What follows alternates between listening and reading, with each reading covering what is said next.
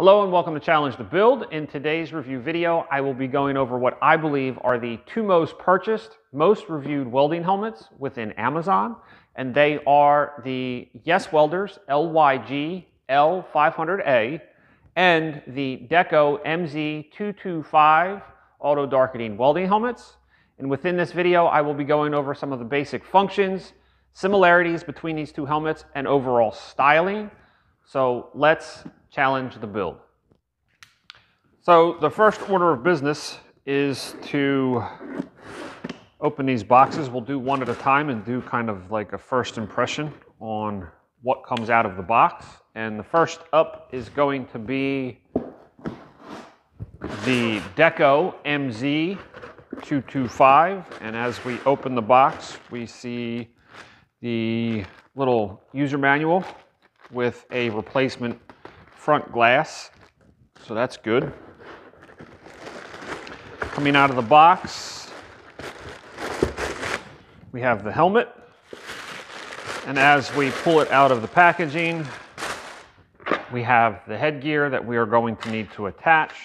And we have obviously the welding helmet. I opted for the Eagle American flag motif and Visually, it is a very good looking helmet. The styling is really cool and uh, definitely pleased with the way it looks. And then the next up is going to be the Yeswelder LYG L500A. Coming out of the box, we have the helmet. Down at the bottom of the box, we have the user manual. And again, we have, now we have actually what appears to be two. So there is two front replacement glass pieces and we have one back replacement glass. So already right out of the box, we have a little bit of a difference in the contents. Coming out of the wrapper, we see that this helmet is basically ready to run out of the packaging. There is no headgear that needs to be installed. However, I can say that because of the box and it being put together, it looks like these nubs kind of like pushed in on the helmet.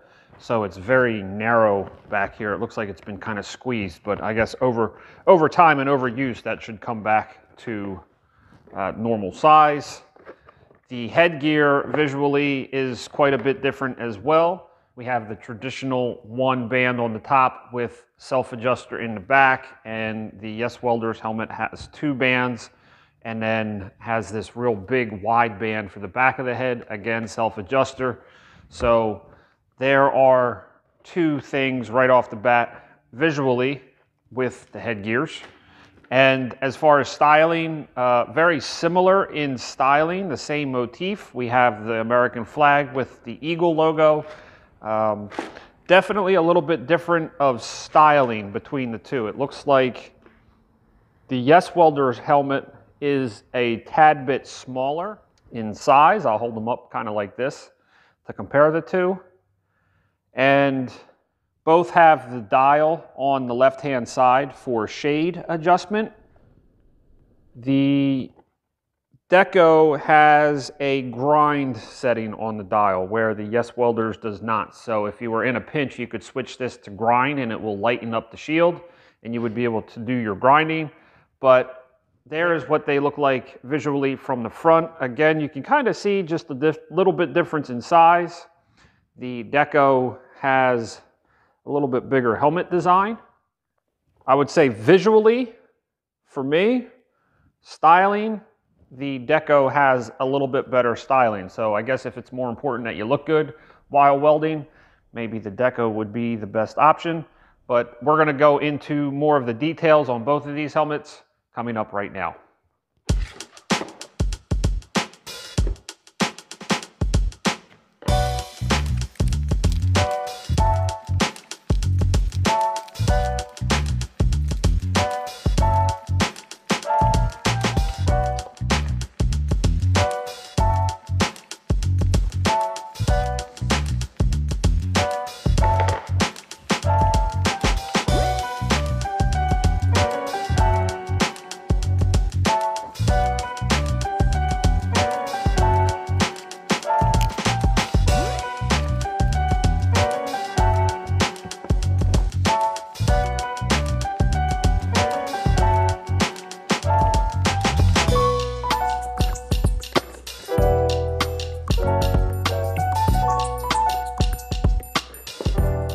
So what you just watched in a mere 60 seconds actually was about 10 to 12 minutes worth of footage and the majority of it was spent actually in putting this together. Now I know for a lot of you it probably doesn't seem like that um, much of a hassle to do this, but it is and it takes time to get these set up to where you can put it on your head, adjust it, and then, you know, be able to nod your head, have it come down and uh, stay where you need it to. On the side, there's little adjustment holes. There's three little adjustments that you can put this pin in to help the stop when it comes down. I even uh, looked through the instruction manual for this one to just make sure I was doing it right.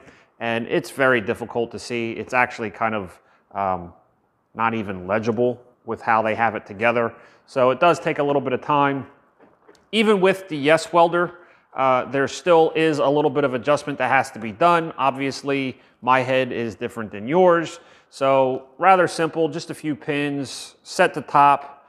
The back of the Yeswelder um, has been improved in older models. The headgear was an issue, so it looks like they have done um, a, a, better job at creating a better piece of headgear with this bigger um, support in the back. So overall, you know, this is more of a basic setup. This has a little bit more banding to support it on top of your head with a broader back strap with a little bit of padding. I can say in regards to the Yeswelder, because of how this was put in the box, even though it was assembled, uh, it does push in a lot on the sides of my head. Um, but I suspect that will go away with use as it kind of comes back to form as, as far as it heating up and warming up, coming back to its natural form and just overall use. I suspect that won't be an issue for very long. So again, overall, as far as assembly and ease of use out of the box, Yeswelder kind of takes that position. So for the final segment, I am going to break down some of the detailed specs regarding both of these helmets, starting first with the actual viewing area of them. And for the Yeswelder, you get a 3.64 inch by 1.67 inch lens. And for the Deko, you get a 3.62 inch by 1.65 inch lens. So the Deko has a slightly smaller lens, but it's so much smaller that I don't think you would notice it uh, when you were using it. So very comparable in size for both of these helmets. You heard me talk earlier in the video about replacement lenses. When I say lenses, I mean simply just the glass that you replace here in front of the helmet. And for the Deko, it's a lot more simple because all you do is pull it out right from the front of the helmet, which makes it very easy and quick for lens replacement. And for the Yeswelder, you have to remove the back of the lens in order to change the front glass. So still relatively simple to do, but there is a little bit of, of a difference between the two helmets. Um, and I can say that you are going to want a lot of extra lenses for your helmets, uh, regardless which one you buy.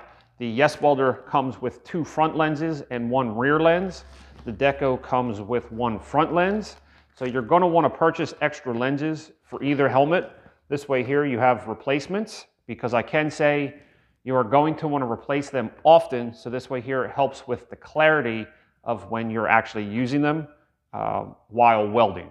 As for some other detailed information regarding these helmets, they both carry the ANSI Z87.1 safety standard. ANSI is short for the American National Standards Institute, and the Z87.1 callout covers general requirements such as blunt impact, radiation, splashes and droplets, dust and small particles. These helmets also carry the EN 379 standard, which EN is short for the European norm, and the 379 call out designates the standard for welding filter clarity, which we will get into that in just a second. The Yes Welder specifically carries the CSA Z94.3 safety standard, which comes from the Canadian Standards Association for Eye and Face Protectors.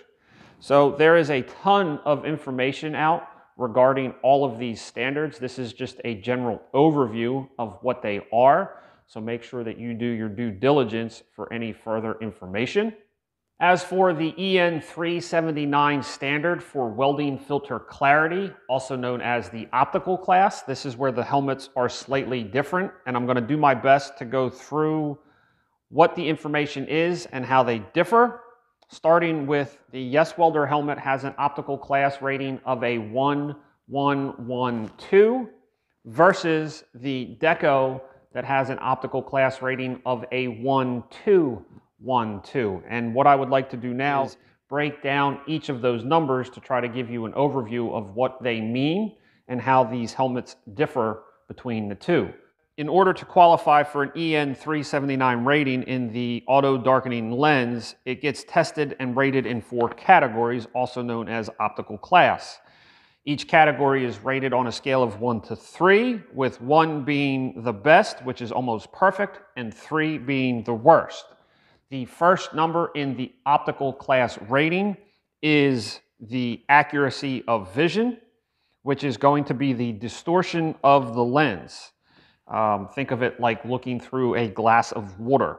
Uh, the Yeswelder carries an optical class rating of one, and so does the Deko, so evenly matched with the optical class of accuracy of vision.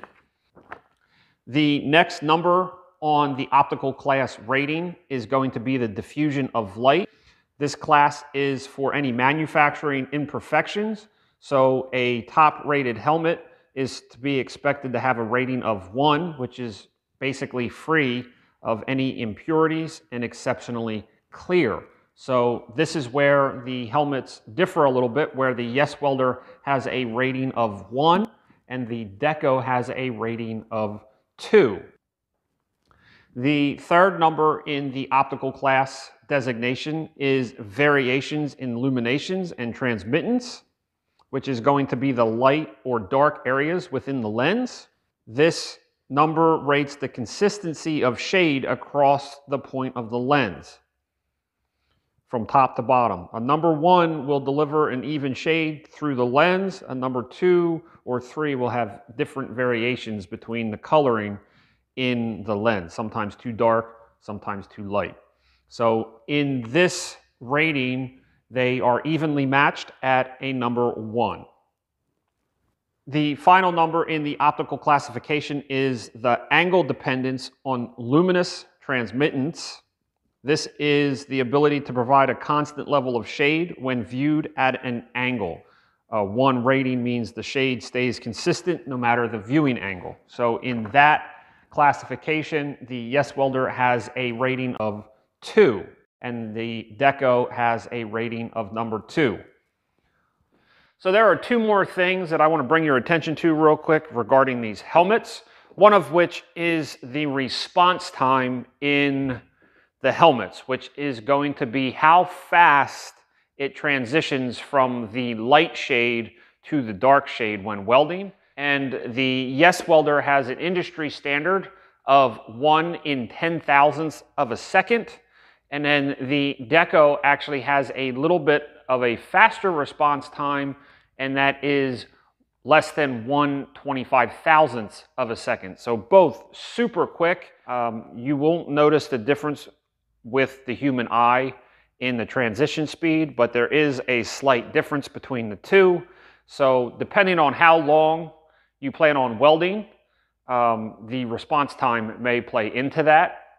Also, the adjustable DIN settings. DIN is the German industry standard for the light shades. So the higher the number, the darker the shade. And both of these helmets are fully adjustable here on the left-hand side from the shades of 9 through 13 and then in the light shade is the standard of DIN 4. A little bit different between the two. The Deko has a grind position, which will keep it lit at DIN setting 4 while grinding. You just have to remember to switch it back over to weld. Um, this is a feature that is good if you get in a pinch and need to do a quick little grind job, but overall, um, when grinding, the best course of safety is to have a shield and also safety glasses, so that way you can see a lot clearer. Uh, the Yeswelder does have the settings from 9 to 13 here on this dial. It does not have a grind setting. In conclusion, both of these helmets are very capable units for a beginner welder and or possibly someone who is a entry-level welder, depending on the budget and trying to get into the field, both of which carry specific safety ratings, so that way you, the welder, are safe. Both of which look fantastic with the styling. They do offer different um, options when it comes to overall styling as well. So I hope you found this review to be helpful in sorting out some of the information regarding both of these welding helmets. For more information regarding any of these helmets, make sure you read through the product descriptions within the listings. Also, a great place to look is within the reviews. There's a lot of helpful information in the review section for both of these helmets.